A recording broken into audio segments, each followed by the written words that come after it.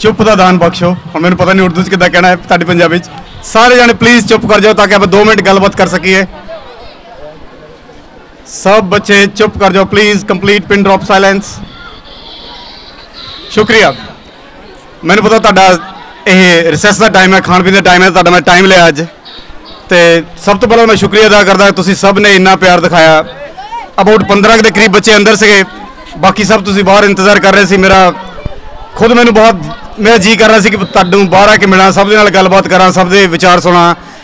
ਤੁਸੀਂ ਕੀ ਕਰਨਾ ਚਾਹੁੰਦੇ ਹੋ, ਵੱਡੇ ਹੋ ਕੇ? ਤੁਹਾਡੀਆਂ ਕੀ ਪਲਾਨਸ ਹੈਗੀਆਂ? ਹੈ? ਤੁਹਾਡੇ ਆਪਣੇ, ਤੁਹਾਡੇ ਇਰਾਦੇ ਕੀ ਹੈਗੇ ਆ? ਤੁਹਾਡੇ ਸੁਪਨੇ ਕੀ ਹੈਗੇ ਆ? ਤੇ ਉਹ ਮੈਨੂੰ ਬਹੁਤ ਚੰਗਾ ਲੱਗਾ ਜੋ ਤੁਹਾਡੇ ਮਾਸਟਰ ਸਾਹਿਬਾਨ, ਟੀਚਰ ਸਾਹਿਬਾਨ ਨੇ ਮੈਨੂੰ ਕੁਝ ਬੱਚਿਆਂ ਨਾਲ ਗੱਲਾਂ ਕਰਕੇ ਸਿਖਾਈਆਂ। ਤੁਹਾਡੇ ਸਭ ਦੀ ਪੰਜਾਬੀ ਬੋਲੀ ਬਹੁਤ ਚੰਗੀ ਲੱਗੀ। ਤੁਸੀਂ ਸ਼ੁੱਧ ਪੰਜਾਬੀ 'ਚ ਗੱਲਬਾਤ ਕਰਦੇ ਹੋ। ਤੁਹਾਡੇ ਸਕੂਲ ਦਾ ਮਾਹੌਲ ਜਿਹੜਾ ਹੈ ਬਹੁਤ ਵਧੀਆ ਹੈ। ਤੁਸੀਂ ਬਹੁਤ ਹੀ ਕਿਸਮਤ ਵਾਲੇ ਹੋ। ਕਿ ਤੁਹਾਨੂੰ ਇਹੋ ਜਿਹੇ ਸਕੂਲ ਸੁਖੋ ਕੀ ਸਕੂਲ ਦੇ ਲਈ ਇੱਕ ਵਾਰੀ ਤਾੜੀਆਂ ਜ਼ਰੂਰ ਮਾਰ ਦਿਓ ਪਲੀਜ਼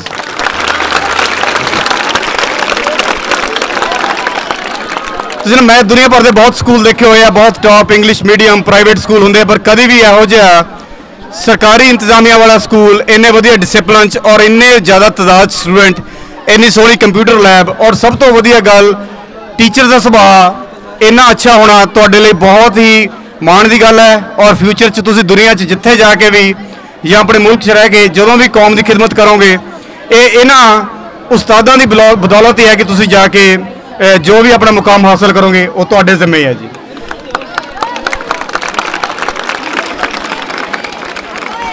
ਮੈਂ ਜ਼ਿਆਦਾ ਸਮਾਂ ਨਹੀਂ ਲਵਾਂਗਾ। ਜਾਣ ਲੱਗਾ ਸਿਰਫ ਇੱਕੋ ਹੀ ਦੁਆ ਕਰਕੇ ਜਾਣਾ ਕਿ ਰੱਬ ਤੁਹਾਨੂੰ ਹੋਰ ਬਹੁਤ ਬਰਕਤਾਂ ਦੇਵੇ। ਤੁਸੀਂ ਸਭ ਹਮੇਸ਼ਾ ਇਦਾਂ ਹੀ ਖੁਸ਼ ਮੁਸਕਰਾਉਂਦੇ ਰਹੋ। ਮੈਂ ਦੰਦਾਂ ਦਾ ਡਾਕਟਰ ਹਾਂ, ਮੈਨੂੰ ਸਾਰਿਆਂ ਦੇ ਹਾਸੇ ਨੇ ਦੰਦ ਨਜ਼ਰ ਆ ਰਹੇ ਅਸਲ ਸੋ ਬਹੁਤ ਹੀ ਚੰਗਾ ਲੱਗ ਰਿਹਾ, ਇੰਨੇ ਪਿਆਰੇ ਬੱਚੇ, ਇੰਨੇ ਰੱਬ ਇਹਨਾਂ ਸਭ ਨੂੰ ਇਦਾਂ ਹੀ ਖੁਸ਼ੀਆਂ ਬਖੇਰਦਾ ਰਵੇ ਔਰ ਤੁਸੀਂ ਆਪਣੇ ਮਾਪਿਆਂ ਦਾ, ਆਪਣੇ ਉਸਤਾਦਾਂ ਦਾ ਜੱਗ ਉੱਪਰ ਨਾਮ ਰੌਸ਼ਨ ਕਰੋ। ਸ਼ੁਕਰੀਆ ਥੈਂਕ ਯੂ